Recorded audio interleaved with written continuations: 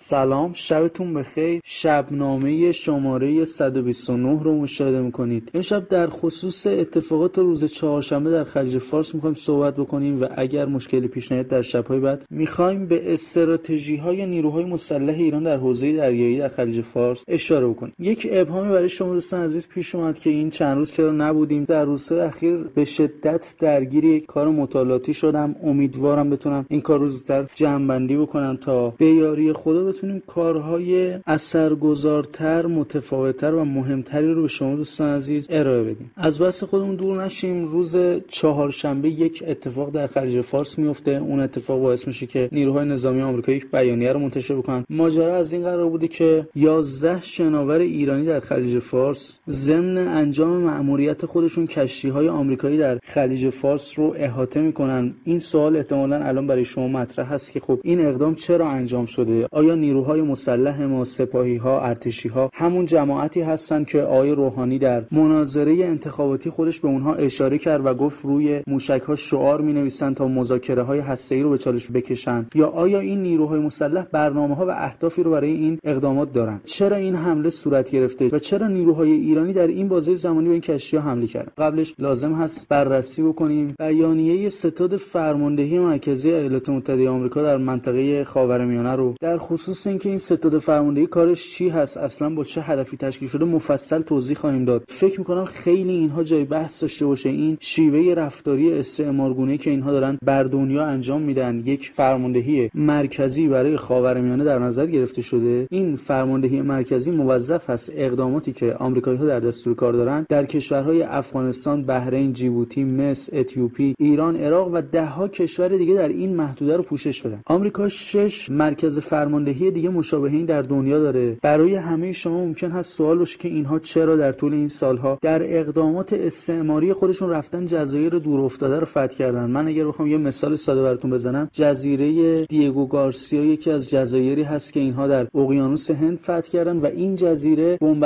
ها و تجهیزات خاص آمریکا برای اینکه اگر ستاد فرماندهی مرکزی ایالات متحده خواست اقداماتی رو در دستور کار قرار بده و برای انجام اینها به مشکل برنخوره این جزیره وظیفه پشتیبانی نیروهای دریایی آمریکا در این بازه زمانی رو بر داره. اما بیانیه‌ای که این مرکز فرماندهی به بهانه اتفاقات دیروز منتشر کرده جالب هست. از جزئیات این بیانیه این رو متوجه میشیم که 11 قایق ایرانی در عملیات روز چهارشنبه حضور داشتن. این 11 قایق به 6 کشتی آمریکایی نزدیک شدن اونها رو احاطه کردن و تا فاصله 9 متری این کشتی ها نزدیک شدن متوقف شدن و به مأموریت خودشون بعد از یک ساعت پایان دادن. یک تصویر از این اقدام در رسانه منتشر شده. تصویر مربوط به یکی از نیروهای نظامی ایران هست. زمانی که قایق‌های تند رو به فاصله 9 متری کشتی‌ها می‌رسن این قایق‌ها متوقف میشن و نیروهای نظامی روی این قایق‌ها به سمت کشتی‌ها نگاه می‌کنن. زمانی که کشتی از اینها فیلم برداری می‌کنن این نیروها در حال تهدید کسانی هستن که روی عرشه این کشتی‌ها ایستادن. خیلی ها براشون سوال هست چرا وقتی محمد جواد ظریف و تیم ایرانی می‌خواد بره مذاکره بکنه می‌خواد بره با آمریکایی‌ها صحبت بکنه اونها این تیم رو به رسمیت می‌شناسن میان میشینن باهاش گفتگو می‌کنن. چرا وقتی جواد ظریف میره در مذاکره هسته‌ای میشینه و از جمله هیچ وقت یک ایرانی رو تهدید نکن صحبت می‌کنه همه دنیا این جمله رو جدی می‌گیرن. چرا وقتی حسن روحانی میاد خطاب به آمریکایی ها میگه که ما تنگه هرمز رو قرار نیست ببندیم بلکه اگر لازم بشه تنگه ها رو میبندیم آمریکایی ها این رو باور می‌کنن. علتش همین پیوست نظامی هست که دارید می‌بینید یک عده نیروی نظامی در کشور شما وجود دارن و یک عده بازوی منطقه‌ای برای شما وجود دارن که اینها پیوست رسانه‌ای مقاماتی که با آراء شما روی کار میان رو تضمین می‌کنن. یعنی فضایی رو به وجود میارن که طرف مقابل بفهمه اگر جایی منافع ایران ایجاب بکنه افرادی در این کشور هستن که هم پهباد آمریکایی می‌زنن هم نیروی آمریکایی بازداشت می‌کنن هم پایگاه آمریکایی رو اگر لازم باشه در عراق موشک باران می‌کنن و ابایی از اینکه با این نیروها تقابل داشته باشن ندارن. متن این بیانیه در خصوص این اقدام تحقیرآمیز رو هم سعی کردن غرورآفرین بنویسن و این در خودش واقعا تنظیم. در واقع یک بخشی از متن بیانیه رو شما می‌خونید گفته که نیروهای دریایی ایران تا 10 متری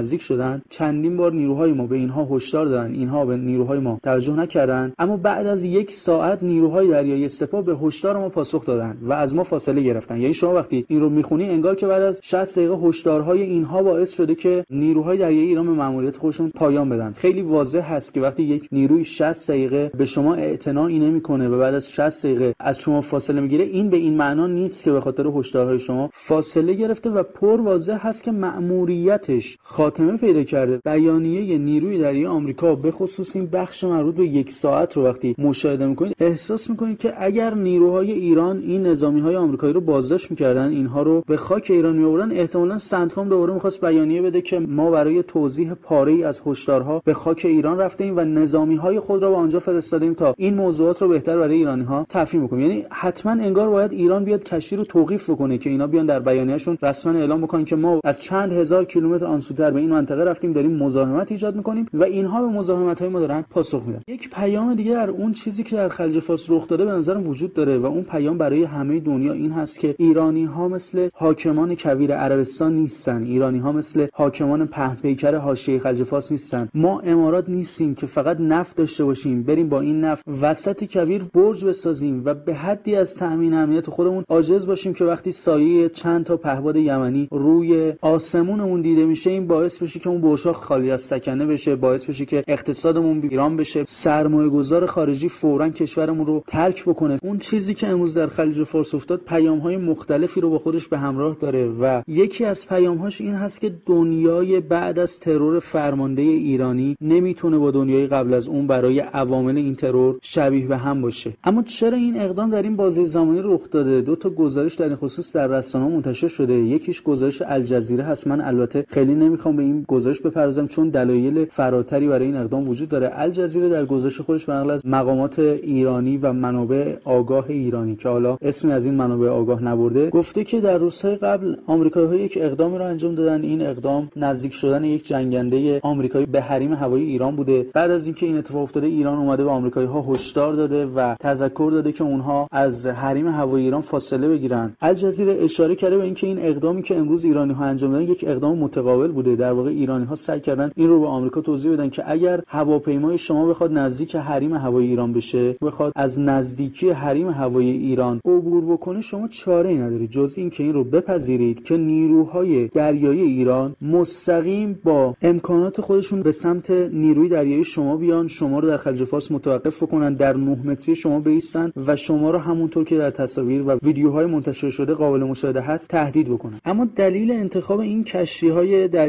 کشتی های نظامی برای این عملیات چه چیزی بوده؟ یکی از کشتی هایی که امروز ایران به سمتش حرکت کرده و در خلیج فارس اون رو احاطه کرده و ویدیوهای اون در رسانه منتشر شده ناوشکن USS Paul Hamilton هست. این ناوشکن یکی از ناوشکن هایی بوده که به همراه ناو هواپیمابر روزولت ماموریت انجام می‌داده. اون ناو در حال حاضر به دلیل اینکه تعداد بالایی از نیروهاش کرونا گرفتن امکان عملیات کردن رو نداره و بعد از اخراج فرمانده خودش در وضعیت خوبی به سر نمی‌بره. در این شرایط این ناوشکن که قبلا در ناوگروه روزولت عملیات می‌کرده این ناوگروه رو ترک کرده و برای عملیات در خلیج فارس به این منطقه فرستاده شده. این ناوشکن 280 نفر خدمه داره و اینطور که رسانه ها اعلام کردن در هفته های اخیر عملیات های رو در خلیج فارس انجام داده. اینطور که رسانه ها نوشتن این شناور ساخته شده تا نقش یک پایگاه شناور رو بتونه در خط مقدم ایفا بکنه. در هفته های اخیر این ناوشکن در خلیج فارس میزبان بالگردهای تهاجمی آپاچی نیروی زمینی آمریکا بوده و عملیات های تمرینی رو با حضور این بالگردها در خلیج فارس انجام داده. در واقع در شرایطی که ارتش آمریکا به خاطر کرونا بسیاری از رفت و آمدهای خودش رو متوقف کرده بعد از تحرکاتی که در عراق انجام دادن روی این ناوشکن اومدن رفت و آمدهایی رو و عملیاتهایی رو انجام دادن